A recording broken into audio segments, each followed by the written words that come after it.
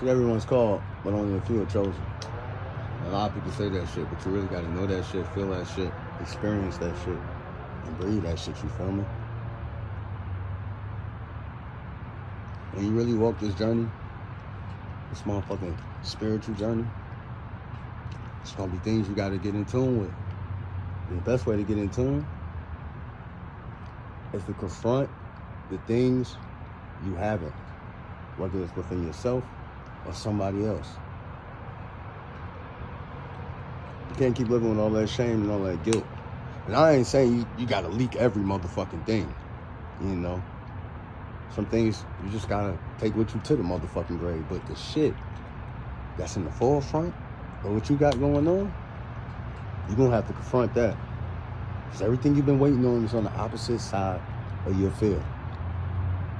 You feel like you ain't shit. Or you feel like you're on the spiritual road, but you ain't getting what you want.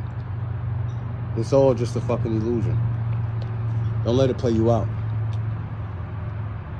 The devil got a good way of making you think you're not doing what you're supposed to do when you're doing everything that the Almighty God asked you to do.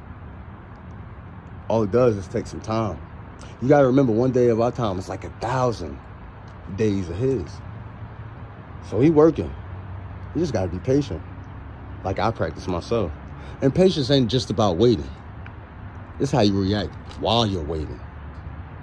See, the way you react and the things you react to while you're waiting for what you're waiting for, huh, that's considered patience. Because a lot of people are waiting, but they start acting the fool. And they never get what they waited for. Because they didn't trip themselves off the map. Or gave all their power up that it takes for the miracles and the blessings that's already upon you. So,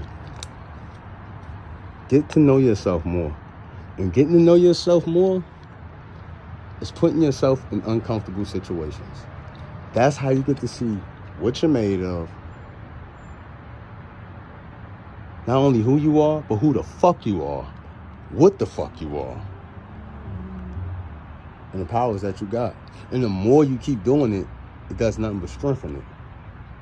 Get comfortable with uncomfortable situations because they bring the opportunity you've been waiting on. Yeah. So everybody got to walk different roads. We all get that, but we all going, or at least heading to the same fucking destination. So you might want to take some of these same rules with you, because a lot of them are universal.